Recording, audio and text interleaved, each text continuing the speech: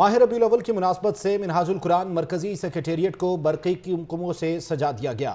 Doctor Tahir al-Qadri کا کہنا ہے کہ نوجوان ربی الاول میں سیرت النبی صلی اللہ علیہ وسلم کا مطالعہ کریں۔ آپ کو بتائیں کہ ماہ ربی الاول کی مناسبت سے منہاج القرآن مرکزی سیکریٹریٹ کو سجا دیا گیا برقی کمکموں سے اور انہوں نے کہا ہے کہ نوجوان ربی الاول میں سیرت النبی کا مطالعہ بھی کریں، ڈاکٹر طاہر القادری کا کہنا ہے۔ علم مبارک مہینے کے صدقے پاکستان کو امن و سلامتی کا گہوارہ بنائے۔ تفصیلات جانیں گے فاروق حمزہ سے۔ فاروق حمزہ، بتائیے گا۔